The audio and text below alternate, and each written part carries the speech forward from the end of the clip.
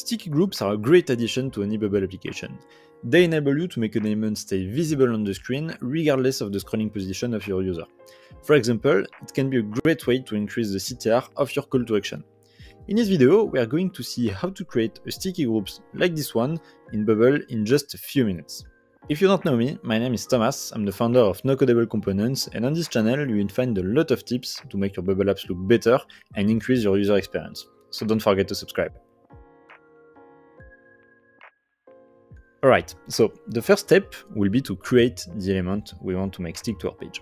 To do this, I'm going to simply use the components from NoCodable Components library to gain a lot of time. So I'm going to go into e-commerce and take shopping cart one. And now I can just paste it to my page. Simple as that. If you want to try NoCodable components, you will find the link in the description of this video. So let's hit preview to see what our components currently looks like on a real page. So as we can see, we have the order summary on the right, uh, and if I try to scroll down the page, it disappears uh, and doesn't stay visible on the screen, which is not the behavior we want to have.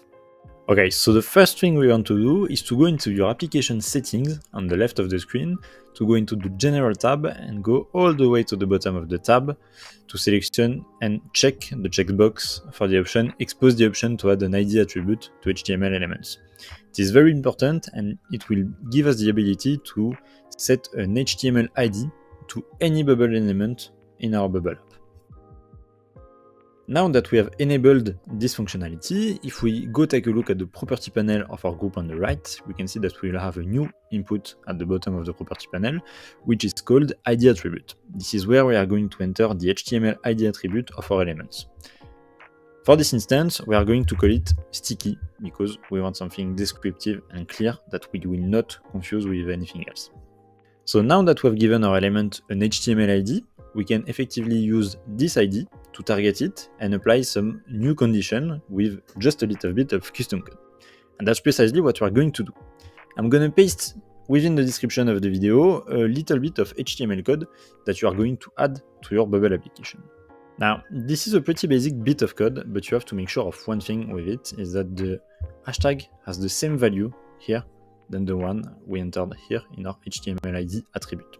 This is really important because if it's not exactly the same value, then our code will not be able to target the right element.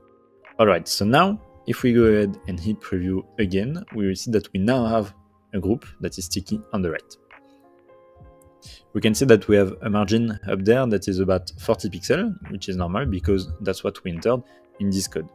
If you have a fixed header that is also sticky, or if you want to increase the margin, you can simply modify this value and set it, for example, to 100 pixels, and then it will update the value.